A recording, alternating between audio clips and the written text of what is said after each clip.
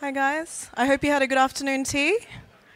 We've got a really awesome session for you coming up now. Uh, we've got Graeme Cross. Graeme describes himself as half scientist, half engineer, and he's been using Python since 1.2. Who else has been using Python since 1.2? Anyone? There we go. Yeah, it's a bit rare these days. All right, guys, um, let's give it up for Graeme.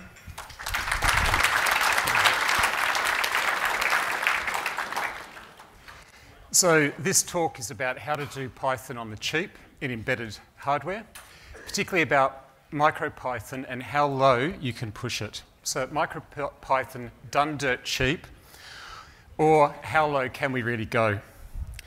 And firstly, I want to start off with a note that I am going to talk about a lot of limitations, but this is not in any way, shape, or form criticism what you're going to see, what people have done to cram Python into tiny little spaces is just amazing. It is some of the most interesting and exciting work I've seen in Python in a while, certainly in the embedded space. Um, and there's lots and lots of tough decisions when you take a language that was never designed for the embedded space and cram it down into tiny little places. So, no black hats in this talk. I want to be really clear. It is all about golden crowns to the team because um, watching what they have done, and I should state, I have no affiliation with the project. I'm not the author, not part of the core team, just a user. What they have done is amazing. And also a disclaimer I said $7, I want to be clear $7 US. Um, what I could have bought for $7 US was about $7 Australian when, you know, a year ago, when I submitted the abstract, it was probably about $8. If you look back on these slides in a year's time, probably more like $14, $20 Australian. let's not dwell on that. Um, let's jump back to 1949. If you've been to the basement of Melbourne Museum, you will have seen this. This is CSIRAC. This is, depending on how you count it, the fourth or fifth electronic computer built in the world, the first one in Australia. It's the only remaining first generation computer in the world. 1949 until 1964, um, those of you from the Bureau of Meteorology, you should know that the first computer modelled weather predictions in Australia on this computer. Um, before the upgrade, 500 hertz, they clocked it up to a kilohertz. 2,000 bytes of, of RAM, two and a half tonne, 30 kilowatts of power. I reckon Melbourne probably dimmed every time they switched it on. But this, this was the state of computing. And if you're ever in Melbourne and you're doing a bit of a geek tour of Melbourne, drop down into the basement. It's free to go down there and have a look, and it is really impressive. Let's jump to 65. Um, the journal Electronics published a paper by the R&D director at Fairchild Semiconductor, highly controversial paper for its time. He went back in 75 to revise what he had um, claimed, and even today we still talk about Moore's law and what he was talking about at that time, in terms of the doubling of capacity every year, and then he said every two years, has proven to be a reasonably good thumb. Certainly, when you look at predictions of computing back in 65, there's not many that have stood the test of time like this. So, the Intel 4004 in 1971 had 2,300 transistors or so. By the mid 90s, with Pentium, we were up to around 3 million transistors. Your typical Core i5 in, say, a Broadwell architecture, you're talking roughly 2 billion transistors. Um, so we've seen that climb, but if you have a look at the cost of an integrated circuit transistor, so a single transistor, in 65, Moore was looking at about $30 US in today's dollars.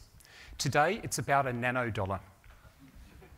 We've dropped from, you know, up in the micron fabs down into 100 nano fabs, down to about 20 nanometer fab. Um, IBM, I think, are down exploring commercial 7 nanometer. It's really impressive. Um, the interesting thing for me is not how many transistors we've packed onto large computers, it's what's happened to microcontrollers. Because if we jump 40 years to today, we've seen processing power climb, we've seen core count climb, I/O options, RAM, storage options, storage capacity, at the same time that power consumption has dropped dramatically, price has dropped astronomically, as you've seen, and the footprint of what you can do has also dropped. And so, if you're a, if you're a hacker, a maker, if you're a, an engineer designing commercial products, you now have a wealth of choice in the microcontroller market. So we have things today like the Raspberry Pi, the BeagleBone Black, the Arduino, the Teensy, the PyBoard, um, what was called the Spark core, but is now the Particle core for legal reasons. The chip, which claims to be the first $9 Linux computer and is currently going through Kickstarter or Indiegogo. There are lots and lots of options. And you have options not just in where you buy it from, but is it just running bare metal? Single application running no operating system. Is it a real time operating system? Does it have Linux or some other operating system? Onboard networking, um, what sort of CPU family? You know, are you dealing with uh, an Atmega CPU? Is it Intel? Is it ARM? What sort of ARM is it? Um, does it have graphics on board? What sort of I/O? Um, you know, GPIO, analog, CAN, I2C, SPI. Um, does it have expansion options? If so, what sort of expansion options? Can you plug an Arduino Shield into it, for example? If I'm in high school and I want to actually fire up my Raspberry Pi and do something interesting with it, how hard is it to actually hook some LEDs in and make them blink, or switch an, um, plug a relay in so I can switch on and off my home brewing system that my parents don't know I have yet. Um, and I could keep on going. But there's also, apart from what you actually see up there in terms of a board, there are some other things to consider, like what are the development tools like? What sort of programming languages are available? If I choose a certain board, am I forced to use a certain language? In the old days, it was all assembler, then you know, C, C++, Forth, some other options. Interpreters really didn't tend to run on systems like this. What's the community like? What sort of support can I get? What's the documentation like? If I'm going to buy these and actually commercialize this, am I dealing with a single source supplier? What happens if that supplier obsoletes this board or components on the board? Am I stuck? Um, can I buy commercial volumes? What do the supply agreements look like? Is the design open source? Am I actually able to take this design and modify it myself if I want? And so it brings us to what I'd say is the prototyping sweet spot. And you may not be able to see this, all of the points in this, but there's really four key parts to this Venn diagram the cost of goods, the ease of use, the performance, and all of the interfacing options. And between those, for most of the work that I do in the biomedical space, um, they're the ones that are the most interest. So, somewhere in all of that, is, there lies an answer. And the answer for me is going to be different to the answer to you, depending on what sort of product you're trying to develop or what sort of problem you're trying to solve. So, it brings us to why consider Python on a micro. It's easy to learn and it's easy to teach, certainly compared to languages like C, C++. Um, if I'm trying to teach an engineer how to use Python um, to control a robot or something like that, or I'm trying to teach a high school student how to blink LEDs, I don't have to be teaching them about pointers and you know, manual memory um, allocation and release, for example. It has the REPL, so I can just fire up a prompt and I can interactively type away an experiment. I don't have to go through that compile cycle, so I have a much faster development time. If I've got engineers who already know how to use Python on a PC, because they've been doing data crunching or they've been um, automating test scripts to drive robots or query some sort of analyzer, then being able to transfer that knowledge down into micros really helps. It has a good standard library when it's available on the micro. We'll come back to that. Excellent ecosystem and a really fantastic community. It's not all rosy though. Performance, um, most of the time, is significantly slower than your assembler or your C, options. Your memory footprint is always going to be larger than those options as well. And you do have to worry about garbage collection and if you're really concerned about a high performance real time target, whether that's going to work for you. So, 2013, there was a Kickstarter campaign for MicroPython and the PyBoard. The intention was to port Python 3 down onto a microcontroller called the PyBoard. Um, and what we've got today is Python 3.4 implemented not just for the PyBoard, but for a range of hardware platforms. A memory footprint of 75 to 260 kilobytes at the moment. It can run in 8K of RAM. Um, it has the ability to work with just standard Python. Uh, there's a range of what they call emitter detectors, uh, direct, decorators, got that out, um, which allow you to do things like embed uh, assembler into your Python code if you want to. It has good documentation, it's got a really active community, and it's alive and kicking with plenty of opportunities to contribute back into it. I mentioned libraries earlier.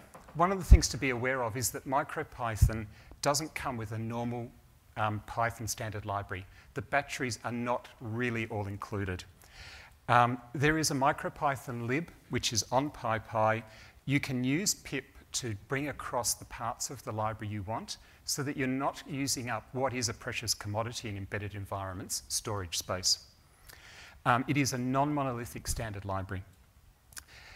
The library also isn't bytecode compatible with CPython. You can't just pull a PYC file off of your PC and drop it into a MicroPython environment and expect it to work. Um, it does come with some MicroPython and board support packages. Um, and people are working on what they call UPip, which is a MicroPython specific version of pip that you can host on your MicroPython system to actually install packages directly if you've got user writable storage. And that's one of the catches that I want to mention is that if your hardware target doesn't have some form of user storable, um, user writable storage, so it doesn't have um, writable flash, it doesn't have a USB mass storage device or SD card, then you have to build the libraries into the firmware before you install the firmware. And so you're back to the old days of compiling C, C++ code and bundling in some Python, which really hurts your rapid prototyping turnaround. While we're talking about libraries and limitations, let's talk about some broader ones. Um, I've mentioned that it's not 100% compatible with CPython in terms of bytecode, but just in terms of the language itself, there are some limitations and some deliberate decisions where it is different. And most of them wouldn't bite the average engineer who is just wanting to do fairly standard Python. But if they're wanting to do something in terms of multiple inheritance with class structures, they may find themselves getting caught.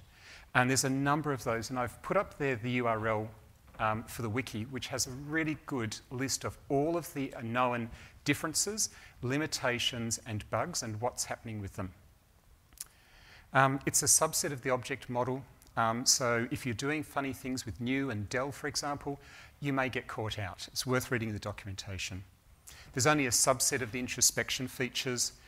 Um, and Unicode, if you were at Nick's talk and thought that Unicode was a work in progress generally in Python 3, even more so in MicroPython.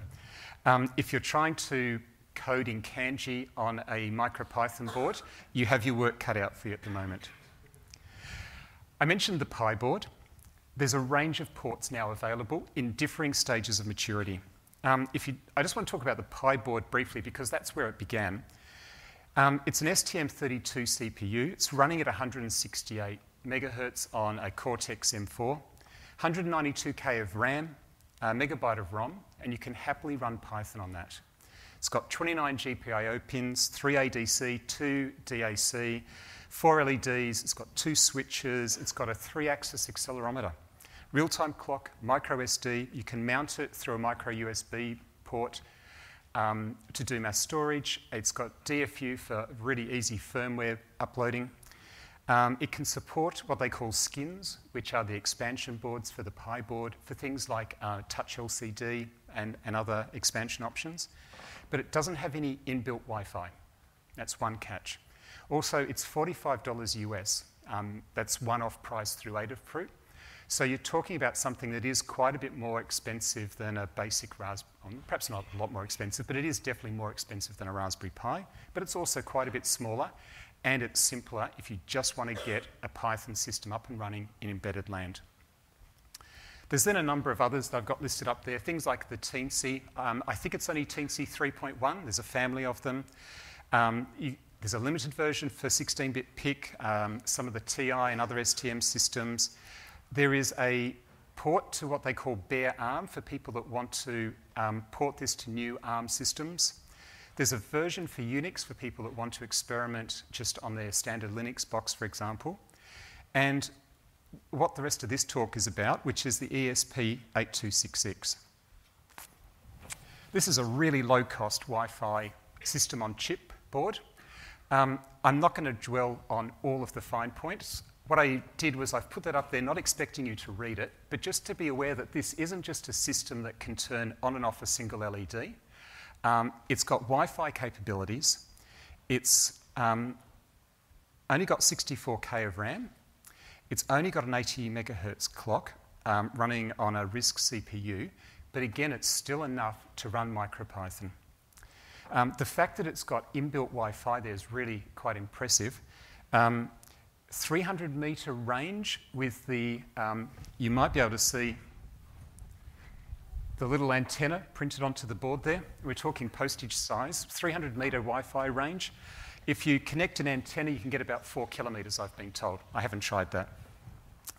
Um, you can use it, and it was originally really designed as a Wi Fi module that you just talk to via the UART if you had another microcontroller system and wanted smart Wi Fi. So you'd hook this up to your Raspberry Pi or your Arduino system. But when Espress, the manufacturers, released their SDK, it allowed people to start actually using it as its own standalone microcontroller. That's where the fun began.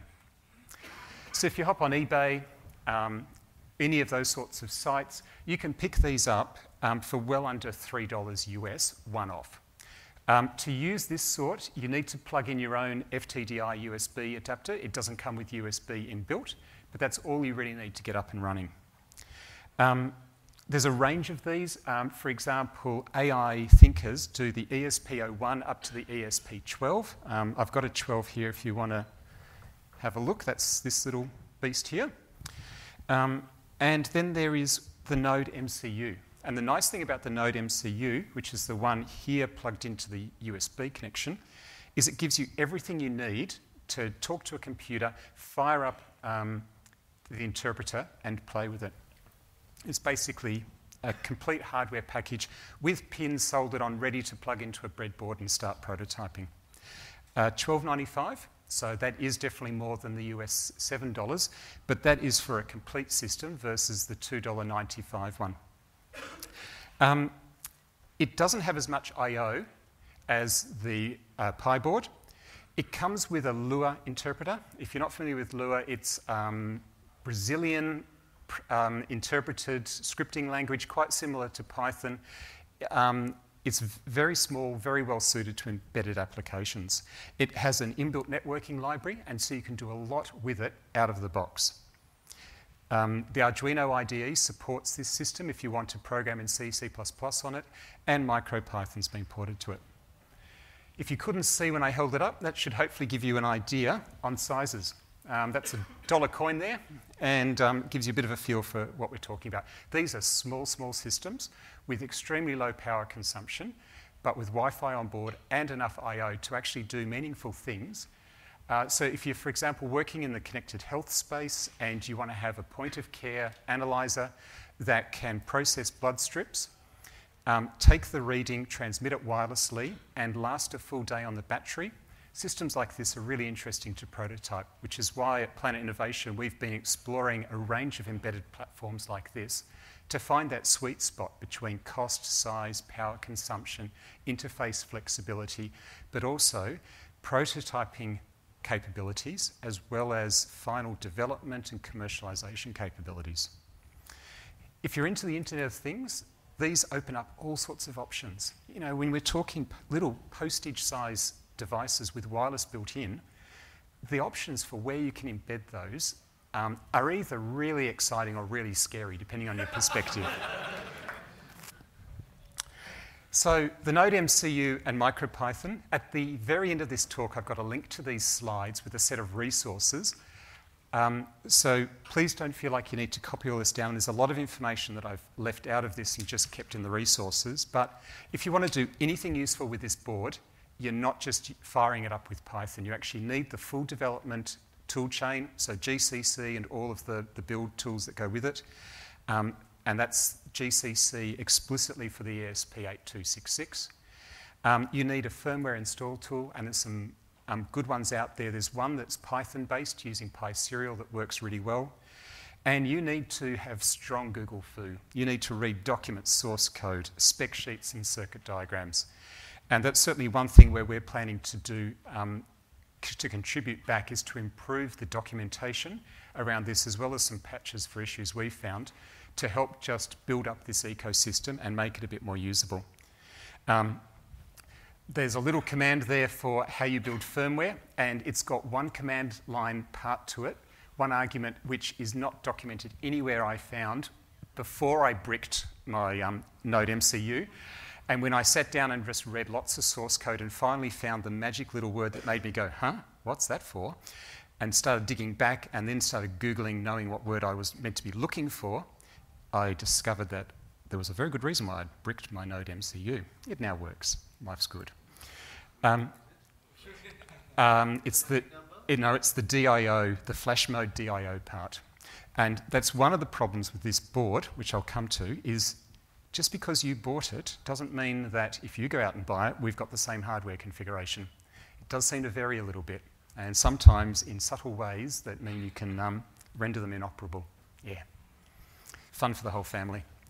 Uh, so some limitations around the ESP system. Um, on the ESP, you've got no mountable flash system. So when you fire it up, you do work, you disconnect the power, it's all gone. If you want to have a startup script, your own libraries, things like that, you need to build them into the firmware, which is why you need the full toolchain. Uh, it's a really bare bones Wi Fi implementation. Um, you can scan for access points, you can connect to an access point with a password up to WPA2. Anything more fancy than that, you're, you're out of luck minimal standard library support at the moment, um, and documentation is pretty limited as well. There's no floating point. Um, and that, in summary, for as far as the ESP8266, we've kind of pushed it to a point where we do really now know how low we can go. We can do some basic work with it, but if we want engineers to just pick up a board and start playing, the options are that they can use this and it will kind of work in frustrating ways. Or they could just stick with what was on there with the Lua interface and have definitely more capabilities than they have today with it. So it's good in terms of it's really easy to be prototyping. All of the hardware, all of the firmware is completely open source. Most of the toolchain is, not all of it. Um, and it's dirt cheap. Um, but there are some varying hardware configurations, and MicroPython today is just a little bit too limited on this particular family of CPUs. I'm running over. I might come back to the demo at the end. It's basically just fire up a REPL and show you that, yes, you really can run Python on it. I just want to make a couple of points. Um, this board has lots of potential. MicroPython in general has an awful lot of potential. Um, if you really, really need to use a low, low, low cost microcontroller with Python today, it's worth considering, as long as you understand the drawbacks. Um, there are some other boards in between the PyBoard and the ESP8266 um, family, such as the Discovery board I've listed there. It's $19, it's more powerful, it's got onboard storage, it doesn't have Wi Fi. So, again, we're back to really understanding what your needs are. Um, and the PyBoard, it's good, it's expensive relative to these. So, where is the sweet spot? You really need to think about cost, usability, speed, form factor, boot time, networking, I/O, to understand what you really need. If you really want a Python-specific embedded solution that is got, you know, instant boot time, no operating system complicating things, it just runs a single Python app for you. The PyBoard is well worth looking at the additional cost of the hardware is probably well and truly um, outweighed by the development time you would waste trying to get MicroPython up and running to the same point on an ESP8266. If you want a flexible all singing, all dancing option, Raspberry Pi I think is still the way to go today.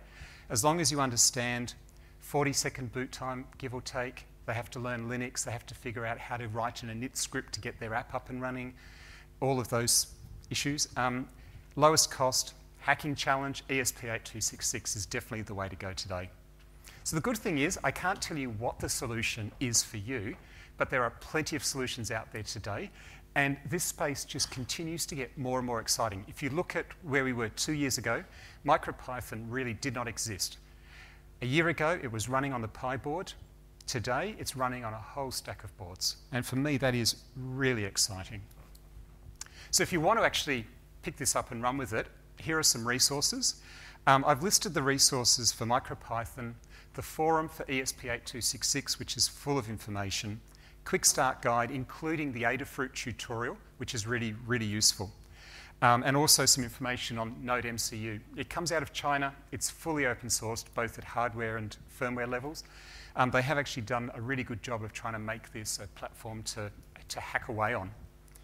Um, lastly, if you want these slides, um, that's the URL and a QR code to grab it. Otherwise, I'm here until Tuesday afternoon. Come and grab me. Um, thank you.